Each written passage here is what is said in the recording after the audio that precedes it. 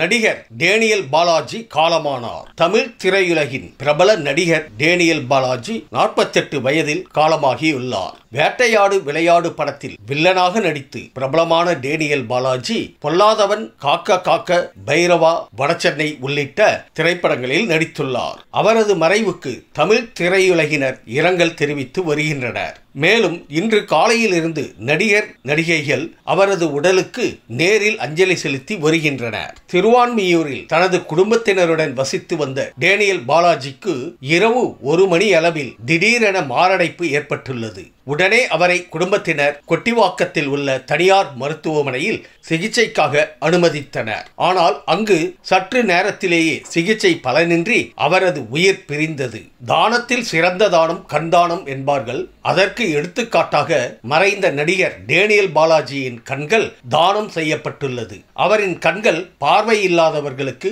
வழங்கப்பட உள்ளது. உயிருடன் இருக்கும் போதும் ஏழை எளிய மக்களுக்கு உதவி செய்த அவர் மறைந்த பிறகும் தனது கண்கள் தானமாக கொடுத்து பிறரின் வாழ்க்கையில் ஒளி வீச செய்துள்ளார்.